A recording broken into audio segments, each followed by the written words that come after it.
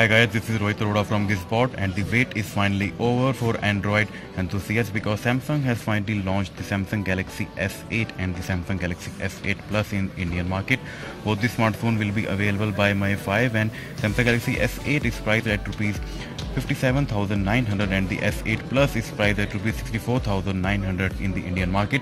Both will be available on Flipkart, Samsung's exclusive retail stores and some offline stores across the country. Uh, you can pre-book the smartphones today itself and you will get a Samsung wireless charger at free of cost. Uh, this, this is uh, especially for users who pre-book the smartphones today itself and uh, consumers will also get uh, Reliance Jio double the data offer when you buy the Samsung Galaxy S8 and the S8 Plus. So on my left we have the Samsung Galaxy S8 which comes with a 5.8 inch Quad HD Super AMOLED display and on the right we have the Samsung Galaxy S8 Plus that comes with a 6.4 inch Quad HD Super AMOLED screen. The other thing that differentiates both the smartphone is the battery unit. Here we have a 3500 mAh battery unit and on the S8 we have a 3000 mAh battery unit.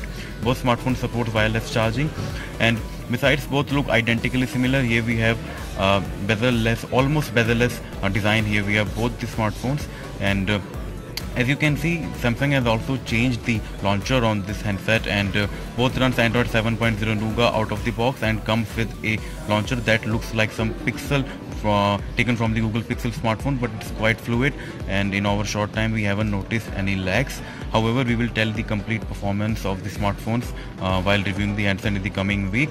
And uh, the other um, highlight feature of the smartphone is uh, Samsung Bixby which is Samsung's take on Apple Siri, Microsoft Cortana and the Google Assistant. So this uh, Bixby learns over time and improves its performance as you use the smartphone over the time. We will also review the Samsung Bixby performance in real life usage.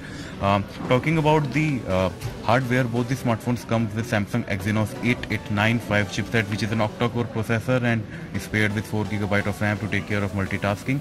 Both the smartphones have 12 megapixel rear camera which is a dual pixel camera and comes with a um, dual LED flashlight and as you notice we don't have a fingerprint scanner on the front.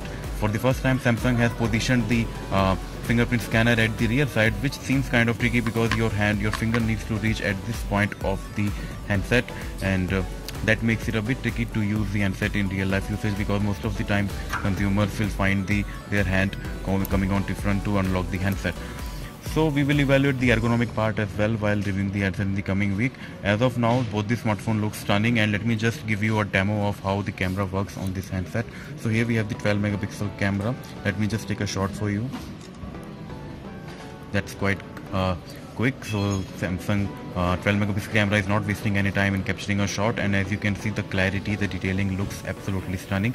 Uh, both the smartphone has an 8 megapixel selfie camera. And uh, let me tell you that both the uh, the camera sensors come with an aperture size of uh, f1.7 so uh, that takes a lot of light and will shoot quite bright images in daylight and even in low light condition.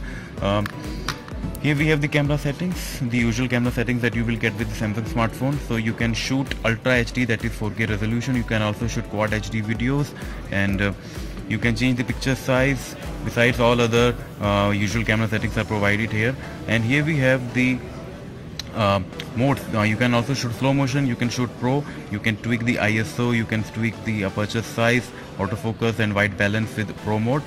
And uh, both the camera interface and uh, both on both the devices look is identically similar and works quite smoothly. And there's no lag as whatsoever while you shoot a picture. We will also review the camera performance in detail in our comprehensive review of both the handsets. Uh, this one really looks quite compact.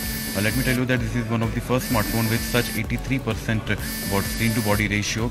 So it is packing a 5.8 inch screen and still is one of the most compact and ergonomic smartphone we have seen in a while. And uh, if you really are android fan then these are the best android smartphone that you can buy in the market right now. And we will compare it with all the other flagship smartphones in the Indian market to give you a full review of the handset Um, both the handsets will be available on Flipkart and retail stores across the country at a price point of rupees 57,900 and 64,900 for the S8 Plus. Um, do let us know about how you how you feel about the smartphone and the video and you can subscribe our Gizbot YouTube channel for the latest videos in the world of technology. This is Rohit Arora signing off from Gizbot. You just saw the first impressions of Samsung Galaxy S8 and Samsung Galaxy S8 Plus in the Indian market. Have a good day you